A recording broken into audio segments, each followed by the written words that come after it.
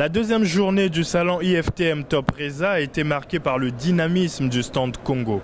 En présence des partenaires présents, Eker, Angora Voyage, CTH et Ozala, le ministre congolais du Tourisme et de l'Environnement a reçu les hommes d'affaires présents à ce rendez-vous international du tourisme.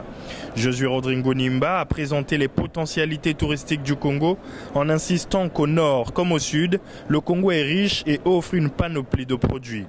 La faune et la flore ne demandent qu'à être visitées et le gouvernement de la République est en train de mettre les bouchées doubles pour moderniser le secteur et donc de le rendre plus attractif. Les visiteurs du stand Congo ont une oreille attentive en estimant que le Congo les recevra bientôt. Je me suis sentie chez moi.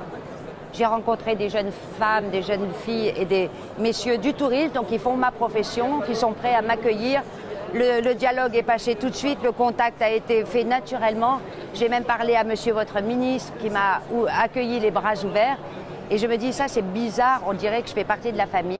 Plusieurs Congolais de la diaspora ont aussi visité le stand.